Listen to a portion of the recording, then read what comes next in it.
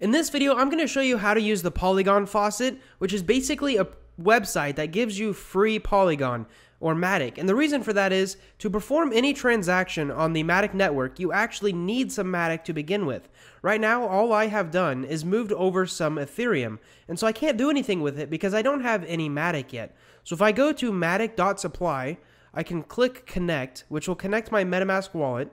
You just click next, and then you click connect. Now you got to do this CAPTCHA where you I got to click some pictures of an airplane. And then once I finish that, I just have to click the receive button.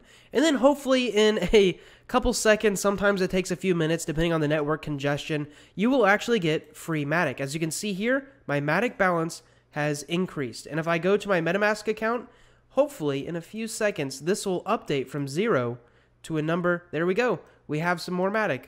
And so this is how you can actually do this Polygon faucet three times per day to get, however, just a little enough Matic that you can do other transactions with. In the next video, I'm going to show you how to do that on QuickSwap. So thanks for watching this video. Hopefully it was helpful.